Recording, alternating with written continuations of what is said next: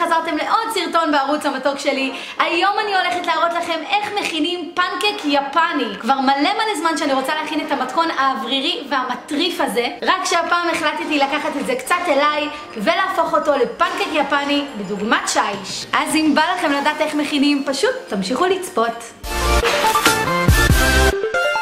בקערה נערבב 100 גרם שמנת חמוצה, חצי כוס חלב ושלושה חלמונים. נוסיף 25 גרם חמאה מומסת ושלושת רבעי כוס קמח. נערבב לאיחוד. נעביר רבע מהתערובת לקערה נפרדת ונוסיף כפית קקאו. בקערת המיקסר נקציף שלושה חלבונים עם שלוש כפות סוכר בהדרגה עד לקצף יציב מאוד. נעביר את רוב הקצף בשתי נגלות לתערובת הלבנה. נערבב בתנועות קיפול. נשאיר קצת מהקצף ונעביר לתערובת החומה.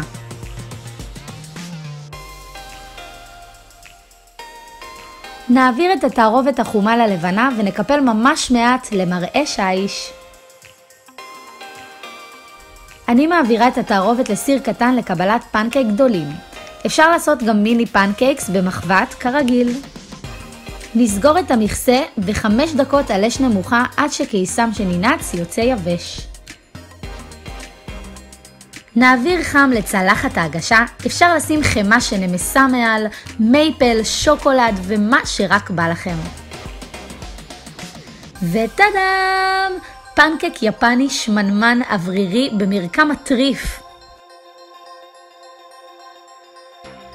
וואו!